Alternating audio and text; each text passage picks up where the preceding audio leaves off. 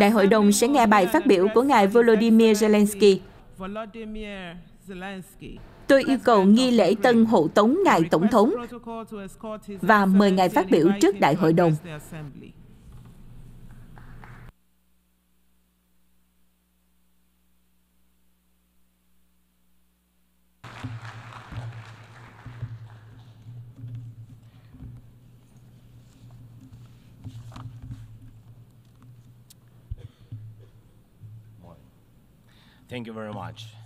Kính thưa quý vị lãnh đạo, thưa quý vị, hôm nay tôi muốn kể cho quý vị nghe về một ngày đã qua và một ngày không bao giờ được phép xảy ra. Vào đêm 4 tháng 3 năm 2022, tôi nhận được một trong những báo cáo đáng sợ nhất kể từ khi Nga bắt đầu cuộc xâm lược toàn diện vào Ukraine. Báo cáo cho biết xe tăng Nga đã nã pháo trực tiếp vào các tòa nhà của nhà máy điện hạt nhân Ukraine, nhà máy điện hạt nhân Zaporizhia, nhà máy lớn nhất châu Âu với 6 lò phản ứng hạt nhân. Quân đội Nga đã tấn công cơ sở này một cách tàn bạo như bất kỳ mục tiêu nào khác trong cuộc chiến này. Không hề nghĩ đến hậu quả có thể là thảm họa. Đây là một trong những khoảnh khắc kinh hoàng nhất của cuộc chiến, khi không ai có thể biết các cuộc tấn công của Nga vào cơ sở hạt nhân sẽ kết thúc như thế nào. Và mọi người ở Ukraine đều nhớ lại ý nghĩa của thảm họa Chernobyl. Hiện nay, nhà máy điện hạt nhân Zaporizhia vẫn bị lực lượng Nga chiếm đóng.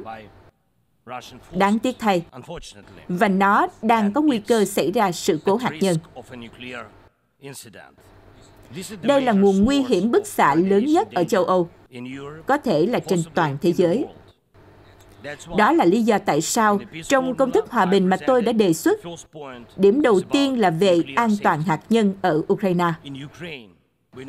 Chúng tôi biết chính xác chúng tôi đang đối mặt với điều gì. Và tôi muốn cảm ơn quý vị, các thành viên Đại hội đồng đã thông qua nghị quyết vào tháng 7 năm nay về an toàn của các cơ sở hạt nhân ở Ukraine. Hầu hết thế giới đều hiểu những gì đang bị đe dọa. Đại hội đồng đã yêu cầu Nga trả lại quyền kiểm soát nhà máy điện hạt nhân Zaporizhia cho Ukraine. Chỉ khi đó, an ninh hạt nhân thực sự mới trở lại châu Âu và thế giới. Và bây giờ, về ngày không bao giờ được phép xảy ra. Vì Nga không thể đánh bại sức kháng cự của người dân chúng tôi trên chiến trường, Putin đang tìm kiếm những cách khác để phá vỡ tinh thần Ukraine. Một trong những phương pháp của ông ta là nhắm vào cơ sở hạ tầng năng lượng của chúng tôi. Đây là những cuộc tấn công có chủ đích của Nga vào các nhà máy điện và toàn bộ lưới điện của chúng tôi. Chính đến hôm nay, Nga đã phá hủy tất cả các nhà máy nhiệt điện và một phần lớn công suất thủy điện của chúng tôi. Đây là cách Putin chuẩn bị cho mùa đông, hy vọng hành hạ hàng triệu người Ukraine. Các gia đình bình thường, phụ nữ, trẻ em, các thị trấn và làng mạc bình thường. Putin muốn để họ trong bóng tối và giá lạnh mùa đông này. Buộc Ukraine phải chịu đựng và đầu hàng. Xin hãy tưởng tượng đất nước của quý vị với 80% hệ thống năng lượng bị phá hủy. Với một phần hệ thống bị tàn phá như vậy, cuộc sống sẽ ra sao? Gần đây, tôi nhận được một báo cáo đáng báo động khác từ cơ quan tình báo của chúng tôi. Hiện tại, Putin dường như đang lên kế hoạch tấn công các nhà máy điện hạt nhân và cơ sở hạ tầng của chúng tôi, nhằm ngắt kết nối các nhà máy khỏi lưới điện. Nhân tiện, thưa quý vị, Nga đang nhận được hình ảnh và thông tin chi tiết về cơ sở hạ tầng của các nhà máy điện hạt nhân của chúng tôi từ vệ tinh của các nước khác. Nhưng việc này thực sự đe dọa điều gì? Bất kỳ cuộc tấn công bằng hỏa tiễn hoặc máy bay không người lái, bất kỳ sự việc nghiêm trọng nào trong hệ thống năng lượng đều có thể dẫn đến thảm họa hạt nhân. Một ngày như thế không bao giờ được phép xảy ra. Và Moscow cần phải hiểu điều này. Và điều này một phần phụ thuộc vào quyết tâm của quý vị trong việc gây áp lực lên kẻ xâm lược. Đây là các nhà máy điện hạt nhân, chúng phải được an toàn. Thưa quý vị, hai năm trước, vào mùa thu năm 2022, tôi đã đề xuất một chiến lược toàn diện để chấm dứt chiến tranh và đảm bảo an ninh. Tôi đã trình bày công thức hòa bình tại một diễn đàn chính trị có tính bao trùm cao cho các nhà lãnh đạo thế giới, Hội nghị thượng đỉnh G20 ở Indonesia, đại diện cho hàng tỷ công dân từ mọi nơi trên thế giới. Và điều quan trọng đối với chúng tôi là tất cả những người này có thể hiểu chúng tôi. Hiểu rằng Ukraine muốn chấm dứt cuộc chiến này hơn bất kỳ ai trên thế giới. Chiến tranh luôn đặt ra mối đe dọa cho nhiều người. Tất cả quý vị đều thấy trên truyền thông và đọc trong các báo cáo về những gì đang xảy ra ở Ukraine do cuộc chiến của Nga. Đó là điều mà nhiều người đang tưởng tượng xảy ra với chính mình. Và đúng vậy, khói từ các đám cháy ở các thành phố bị chiến tranh tàn phá có thể lan đến các quốc gia khác. Và nếu Chúa không muốn Nga gây ra thảm họa hạt nhân tại một trong các nhà máy điện hạt nhân của chúng tôi, bức xạ sẽ không tôn trọng biên giới quốc gia và đáng tiếc là nhiều quốc gia có thể cảm nhận được những tác động tàn khốc. Nhiều người lo ngại, nhưng sự hiểu biết sâu sắc nhất về chiến tranh luôn được tìm thấy trong ngôi nhà mà nó phá hủy. Chính người dân Ukraine cảm nhận được toàn bộ nỗi đau của cuộc chiến này. Chính trẻ em Ukraine đang học cách phân biệt âm thanh của các loại pháo và máy bay không người lái khác nhau vì cuộc chiến của Nga. Chính người dân chúng tôi bị chia cắt bởi sự chiếm đóng vì Putin quyết định ông ta có thể làm bất cứ điều gì ông ta muốn. Chính những người lính anh hùng của chúng tôi đang hy sinh mạng sống để bảo vệ đất nước khỏi những kẻ xâm lược đang cố gắng cướp đất đai của chúng tôi.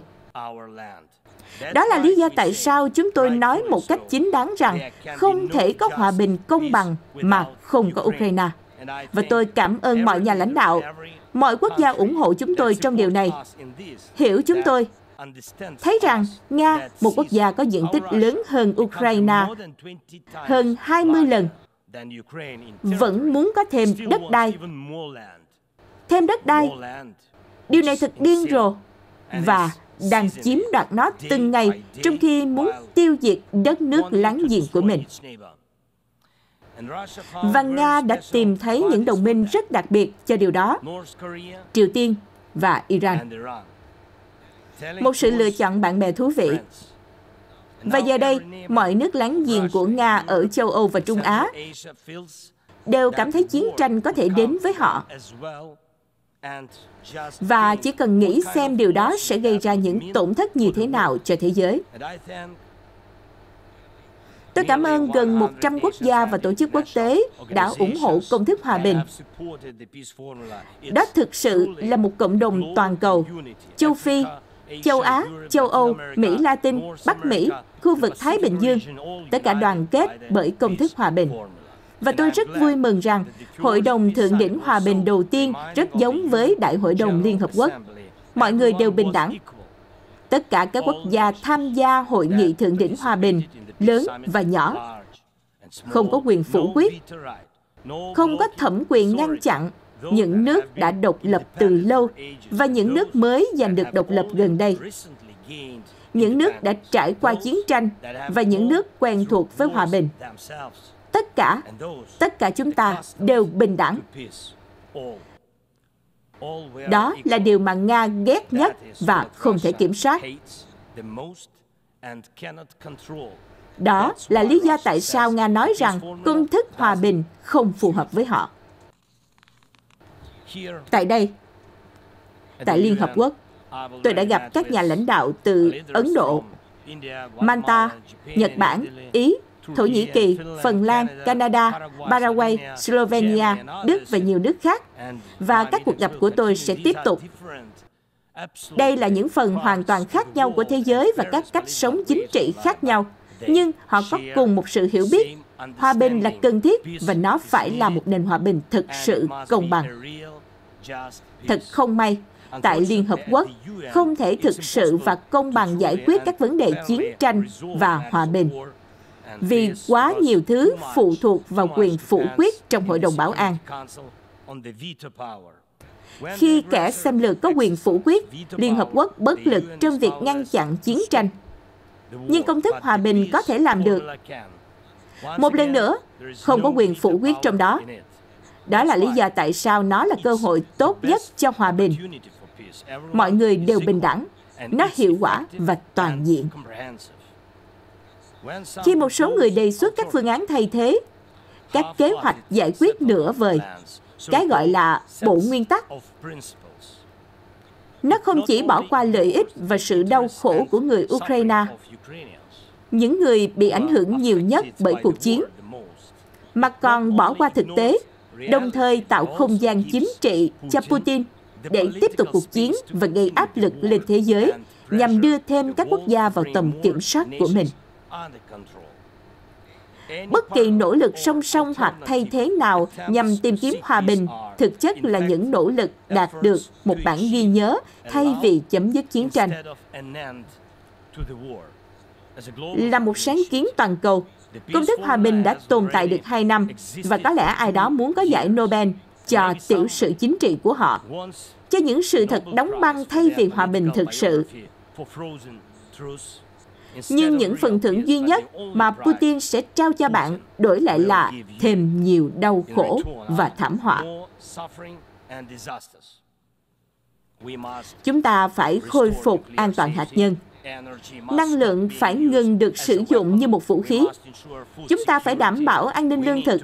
Chúng ta cần đưa về nhà tất cả binh sĩ và thường dân bị bắt giữ của chúng ta, những người có thể đã bị trục xuất đến Nga Chúng ta phải duy trì hiến chương Liên Hợp Quốc và đảm bảo quyền toàn vẹn lãnh thổ và chủ quyền của Ukraine, cũng như chúng ta làm cho bất kỳ quốc gia nào khác. Chúng ta cần rút quân chiếm đóng Nga. Điều này sẽ chấm dứt các hành động thù địch ở Ukraine. Chúng ta phải buộc những kẻ chịu trách nhiệm về tội ác chiến tranh phải chịu trách nhiệm.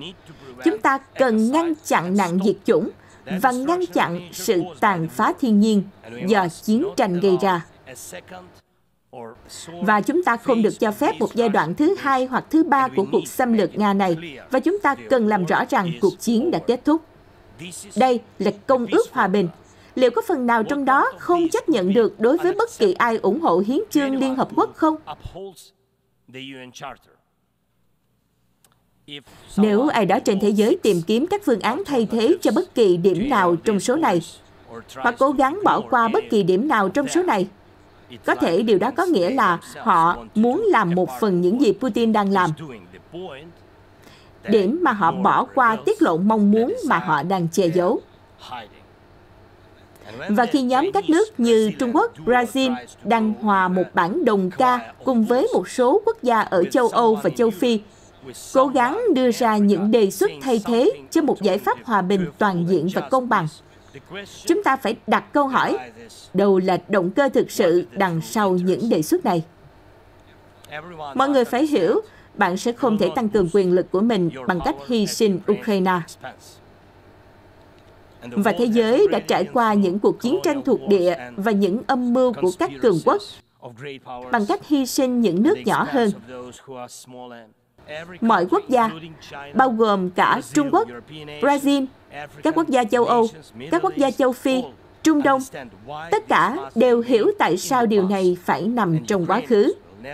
Và người Ukraine sẽ không bao giờ chấp nhận, sẽ không bao giờ chấp nhận tại sao bất kỳ ai trên thế giới tin rằng một quá khứ thuộc địa tàn bạo như vậy không phù hợp với bất kỳ ai ngày nay có thể được áp đặt lên Ukraine ngay bây giờ thay vì một cuộc sống hòa bình bình thường. Tôi muốn hòa bình cho người dân của tôi, hòa bình thực sự và công bằng. Và tôi đang yêu cầu sự ủng hộ của các bạn từ tất cả các quốc gia trên thế giới. Chúng tôi không chia rẽ thế giới. Tôi yêu cầu các bạn đều tương tự. Đừng chia rẽ thế giới. Hãy là Liên Hợp Quốc. Và điều đó sẽ mang lại hòa bình cho chúng ta. Cảm ơn các bạn. Slava Ukraine. On behalf of the Assembly, I wish to thank the President of Ukraine.